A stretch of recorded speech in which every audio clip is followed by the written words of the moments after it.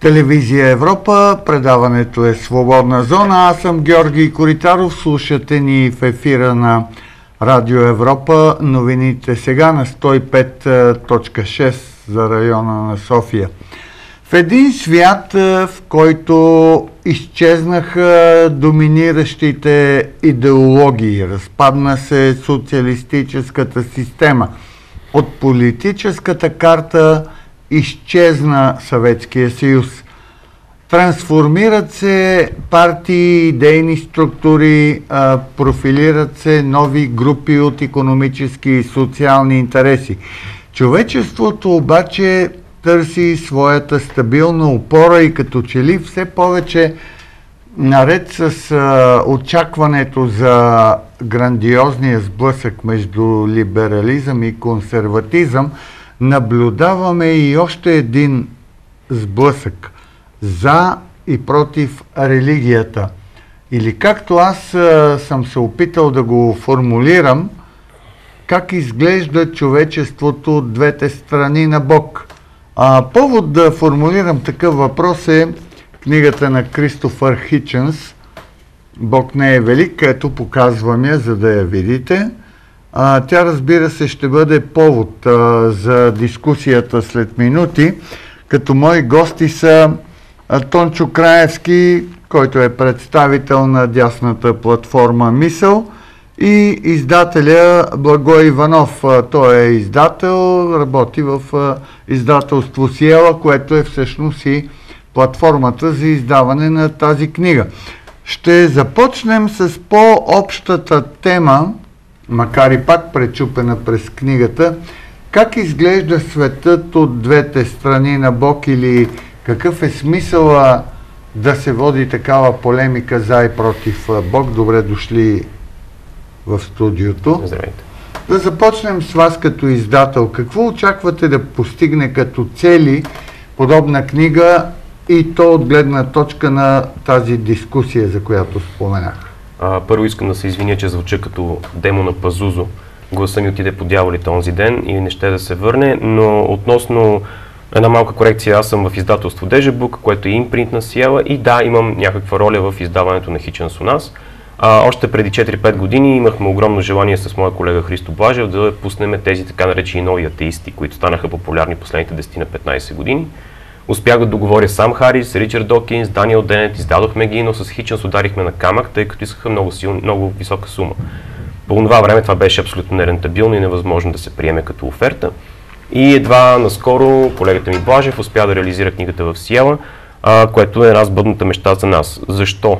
Основната причина тази книга да съществува и основната причина този нов агресивен атеизъм да се появи, разбира се, 11 септември 2001 защо пък 11 септември? Защото това беше най-показ, най-показното религиозно престъпление, което можеше да бъде видяно в, наживо, в реално време и което беше удар не само в така нареченото сърце на Америка, каквото и да означава това. Това беше удар по а, така, цивилизацията, която никога не си е мислил, че може да се случи нещо в такъв мащаб и то от хора, които на пръв поглед прокламират религия на мира. А, както знаем, 19-те атентатора, 15 от тях бяха саудити, двама-трима мароканци, имаше либиец. Всички Те до един бяха... Направиха атентата под е, флага на Ал-Кайда, която нито един миг от своето съществуване mm-hmm. не е стояла под флага на мира. Абсолютно вярно, но и никога не е, допуск... не, не, не е успяла да постигне чак такъв силен ефект и чак такъв силен мащаб на жертви, а, в един свят, който е на другата, другия край на света. За Може ли заради една терористична организация, която а, меко казано доста некоректно се отъждествява с а, която идея религия по смисъла на каноничните и послания, да бъде в основата на такъв мощен атеизъм?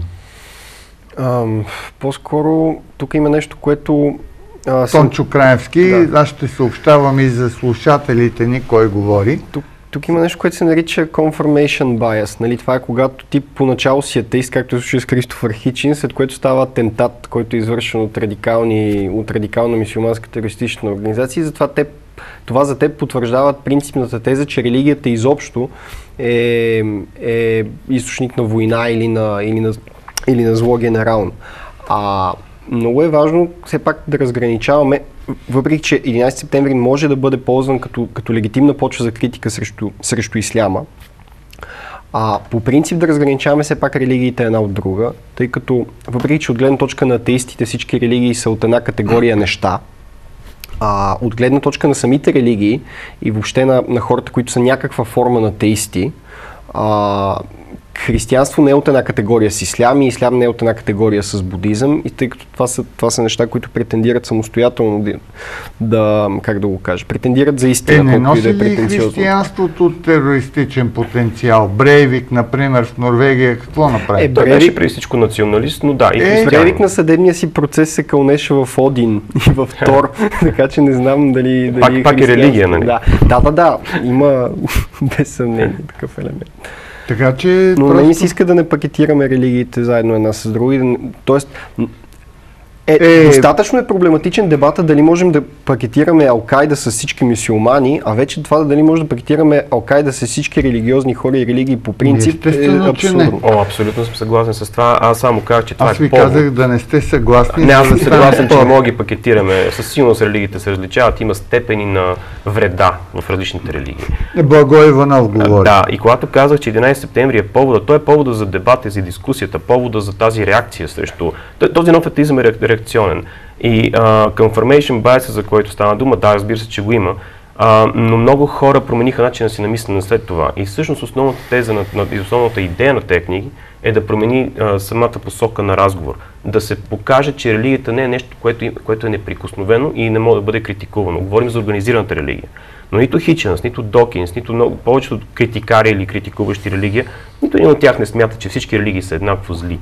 Даже ако трябва да се степенуват, аз имам различно мнение от мнението на, на Докинс, Докинс има различно мнение от мнението на, на Харис, кои са най-ужасните и прочие. Влизате в едни детайли, които обаче преди да ги разглеждаме, трябва да отговорим на глобалния въпрос. Общия знаменател между всички религии е отношението към Бог. Във всяка една от тях присъства субстанцията Бог, който е Твореца, който е Създателя на всичко около нас. От другата страна е материалния, материално-диалектическия концептуален подход, който да речем отрича религиите.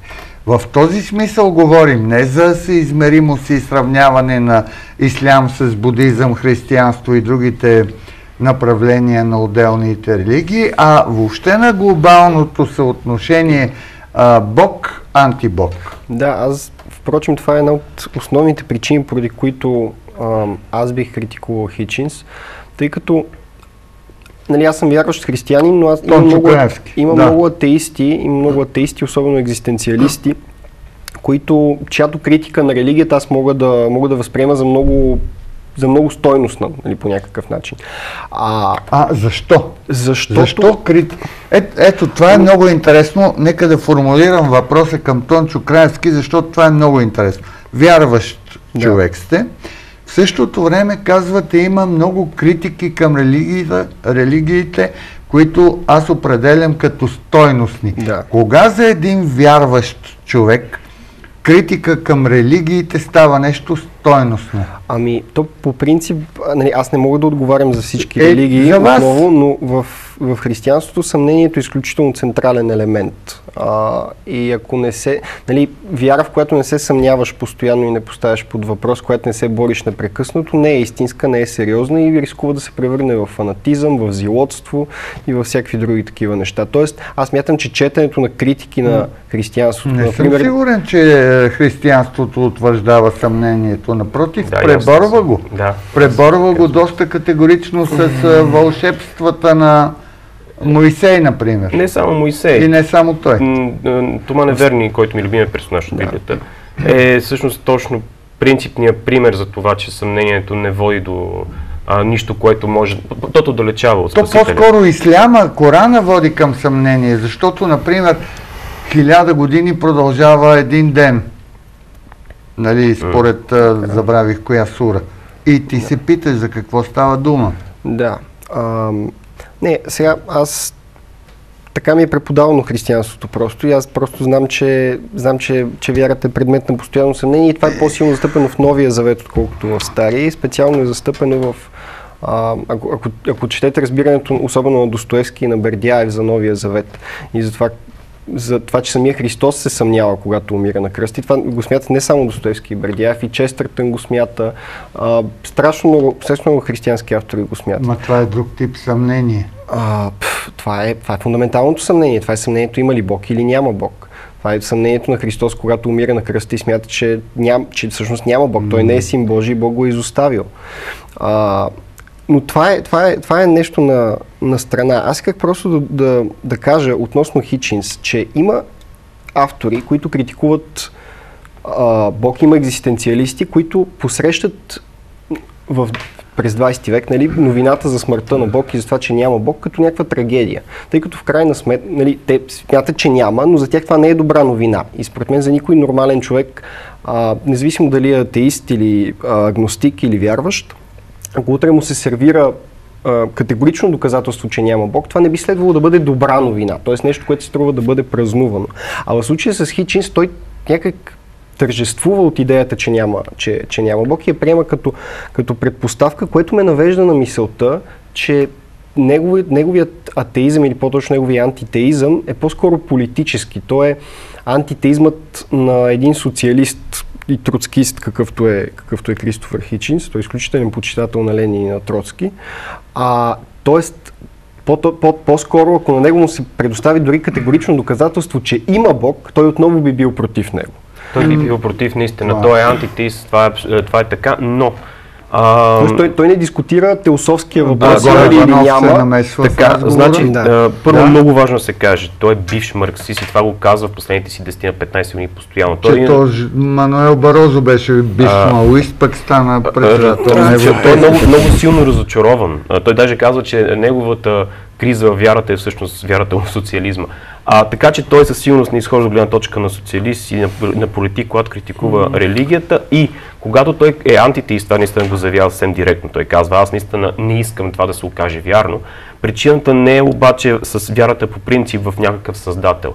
Неговите най-големи герои, като Томас Пейн и Томас Джефърсън, да кажем, те са деисти, т.е. те смятат, че има някаква съзнателна първопричина, която може да няма лично отношение към теб. Това не е личния бог на а, Юнг, да кажем, но със сигурност а, е, е идея, която, с която Хиченс няма никакъв проблем.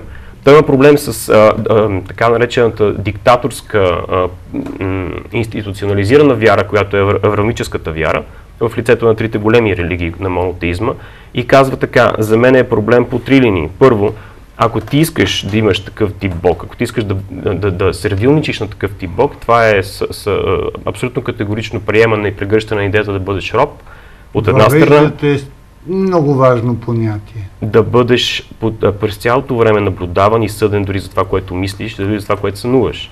Това не е нещо, което аз също бих искал. В този смисъл смятам, че е нормално да не искаш да, да има такъв тип Бог. Второто нещо, което е много критичен, казва, има един фундаментален проблем с монотеистичните вероучения, именно, че според тях без Бог нямаш морал което е крайно невярно и много съмнително твърдение. Ми, защо да е съмнително? Ти ако градиш координатната система, че морала е съотносим към някаква рамка, към, да речем, 10 Божи заповеди, разбира се, че без Бог няма да имаш морал. Колко от тези 10 Божи заповеди са морални всъщност?